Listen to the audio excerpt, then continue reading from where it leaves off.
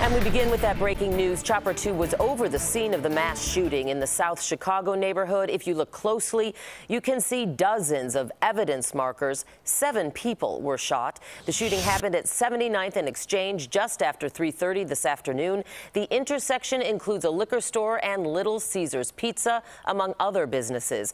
CBS 2's Sabrina Franza is outside the University of Chicago Medical Center, where four of those seven victims are now fighting for their lives. Sabrina, you spoke with one of the victims' families. Dana, minutes felt like hours here outside the University of Chicago Medical Center as those families waited for answers, for more information about their loved ones' conditions. Some of them cried in the streets, others packed in cars filled with family members, again, looking for those updates, those answers. In one of those cars, we met the brother of one of the victims. I'm not gonna be fully out of it until I know that until I literally hear my brother's voice and he tell me himself that he's okay. Derek Swift had just dropped off his younger brother at the store. Oh, we're getting 20 rounds at 7916 South Exchange. Looks like it's coming from the parking lot. I really think that it was my fault because I could have kept him in the car with me instead of dropping him off at the house.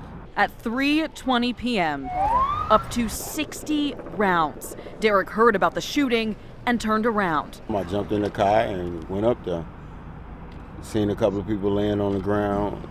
Didn't see my brother. Police say at least one person pulled up in a car outside the Little Caesars on South Exchange Avenue and East 79th Street, talked to a group of seven men standing there, then fired. They looked up and my little brother was hitting his chest. Police Superintendent Brown. Whether it was a targeted shooting or an altercation, it's unacceptable. And we're going to be, put all of our efforts forward to solve this shooting and bring those to justice that were involved. All seven rushed to area hospitals, two critical, five stable. Only thing I can do now is leave it up to the man upstairs. Derek's brother is in surgery. He's expected to be okay, so his older brother can tell him this. Just tell my brother I love him.